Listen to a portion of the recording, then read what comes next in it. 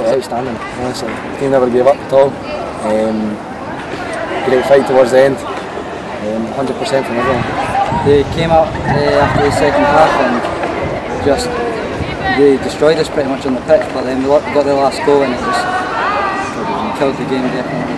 I think it's our last, both, it's both our last game uh, at. So and we got to the final last year. We got beat on penalties, which was very unfortunate. But our first fight. it, Mr. Thompson said we've turned it around and came right back into it. And won it. So, very proud. Yeah. Couldn't really think about it when I scored that.